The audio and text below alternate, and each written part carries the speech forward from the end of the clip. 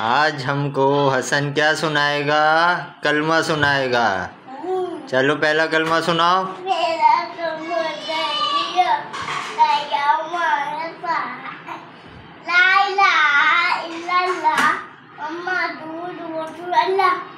Very good अब हसन कौन सा कलमा सुनाएगा? हाँ दूसरा कलमा सुनाओ।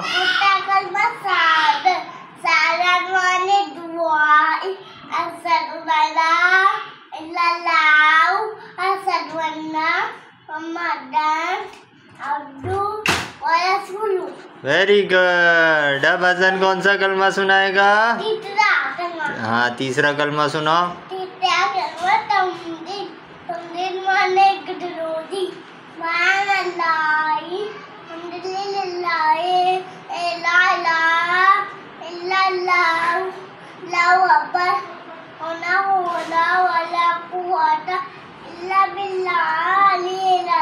वेरी गुड हसन ने बाबा को तीन कलमे सुना दिए क्लैपिंग